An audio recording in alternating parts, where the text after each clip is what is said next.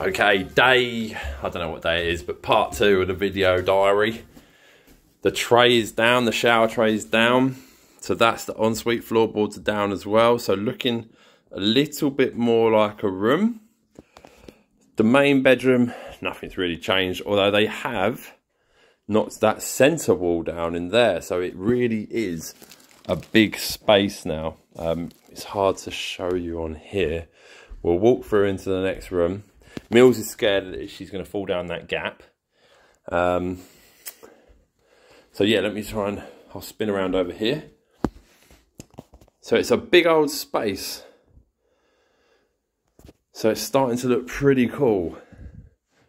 That still hasn't been filled in. That's going to be filled in hopefully tomorrow. There's the current door.